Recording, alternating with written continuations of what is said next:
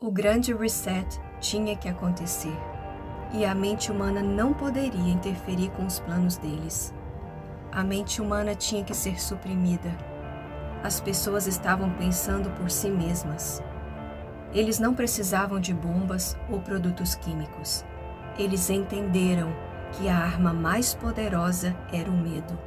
Eles odiavam a condição humana nos viam como ratos enjaulados, com grades em torno de nossas cabeças. Nossos pensamentos apodreciam, estavam decadentes.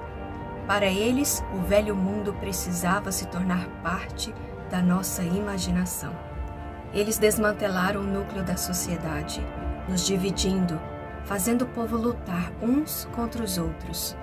Permitiu que isso se tornasse uma guerra psicológica entre as pessoas.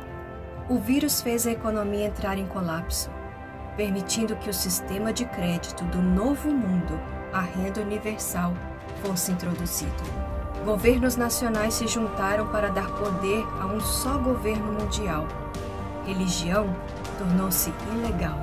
Ninguém conseguia mais pagar suas hipotecas e financiamentos da casa própria.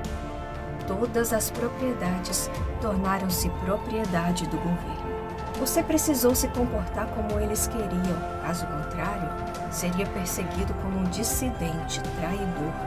A polícia recebeu 100% de poder e os escritórios vazios da cidade tornaram-se as estações de trabalho para o Estado fascista. A coleta de dados e o monitoramento do comportamento humano tornaram-se uma economia estável. Ninguém conseguia entender por que e como isso aconteceu. Mas isso era parte do plano, que era manter as pessoas desorientadas e mantê-las dormindo, confiando no sistema. Os confinamentos desgastaram mentalmente as pessoas, quebraram suas mentes e a verdadeira compreensão que elas tinham da realidade.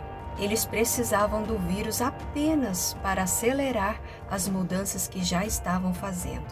Era a cortina de fumaça perfeita para trazer a sua nova ordem mundial, na qual eles vinham trabalhando há décadas.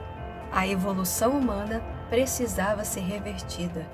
Eles usaram e abusaram de nós o suficiente para construir a realidade artificial que eles desejavam. Não havia mais utilidade para nós. Éramos inúteis. O objetivo número um do reset foi a redução da população. Os humanos estavam excedendo os recursos.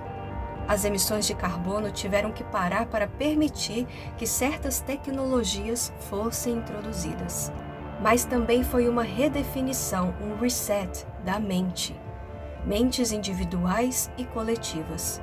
Eles nos empurraram para intermináveis rituais malignos, para causar traumas na alma humana, permitindo-lhes conduzir a evolução como desejavam a doença mental tornou-se como um resfriado comum. E a essa altura, o vírus já tinha sido esquecido. Fomos avisados que tudo voltaria ao normal? Não. Fomos colocados em sono profundo, debaixo do feitiço deles. Nenhuma resistência. Isso deu permissão para eles oprimir e fazer o que quisesse. Foi só a cegueira do povo que os levou à armadilha mas as pessoas ainda não podem encarar a verdade. Ficamos paralisados e como ovelhas sendo guiados para o matadouro. Somos seres espirituais, experimentando a realidade física, mas nós estamos presos nos sonhos de outros. Um sonho que parece real, mas temos a habilidade de mudá-lo a qualquer momento. Ditaduras só existem com seguidores. Você não tem que ir com o rebanho obediente há uma outra escolha. Você tem medo de estar só, sendo o indivíduo que decide por si? Ou está feliz por ser um escravo submisso?